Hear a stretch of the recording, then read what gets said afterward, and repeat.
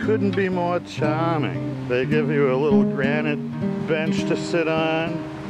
The bridge construction is sturdy old cast iron. Looks like it's been here forever. The river's pretty busy. All in all, it's a fabulous way to start threading yourself through this system. And lo, the falls behind a little impoundment. There's the impoundment creating a pond-like wetland area.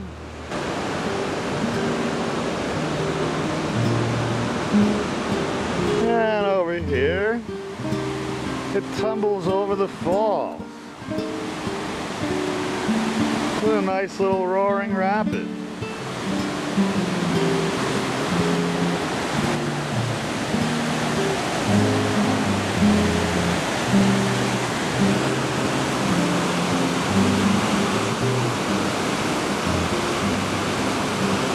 Water's running pretty clear.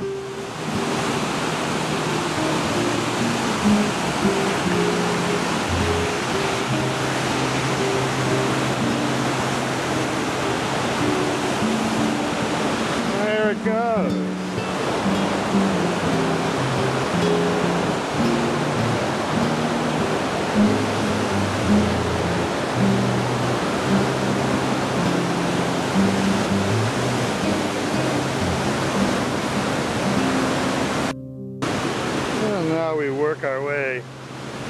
Back across it all. In the shady quiet.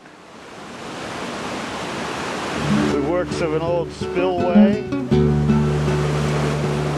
A path along the river.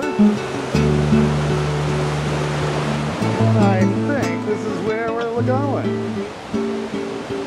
Yeah. Yes, it's the Mary Hunnewell Fyffe foot bridge.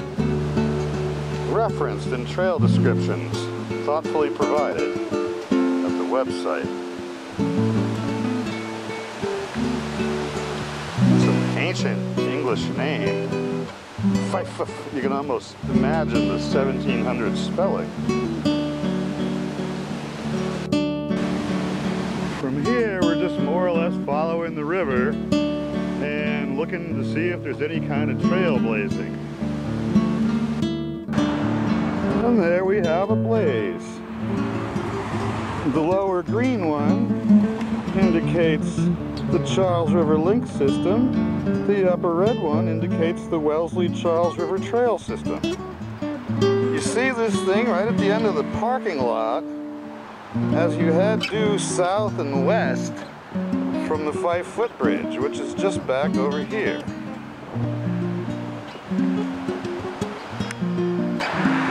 And now we cross yet another busy, obnoxious Massachusetts street and see what we find. Benjamin Mills Park, it looks like. There's the river. Various aquatic bird-like things that seem to be mallards. Oh, no, it's the ubiquitous Canada goose. Splashing around. Oh, yay. And here we are at the trail. the Canadas are taking over.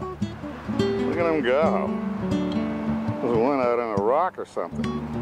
It's his own throne. Preening, I see.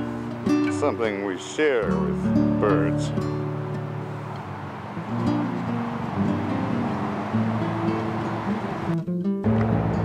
The water level seems kind of low.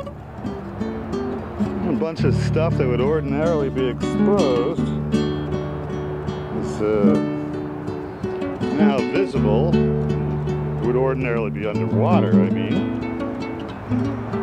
It's interesting how on the highway side it's still pretty wild and it's not very appealing to the Canadas, which we now view as a problem.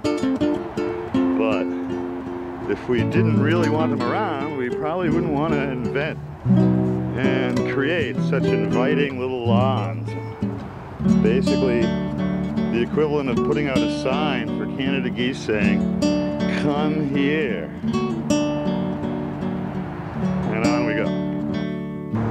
And now as we enter a more wooded area, it's not so appealing for the Canadas. Oh no.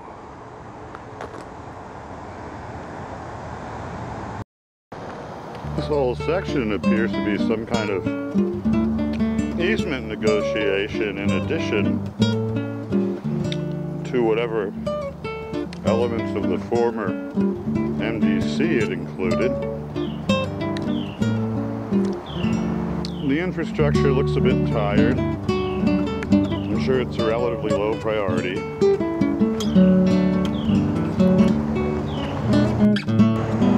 There's the place. The trail veers over towards a little obscure around here, which is just fine by me.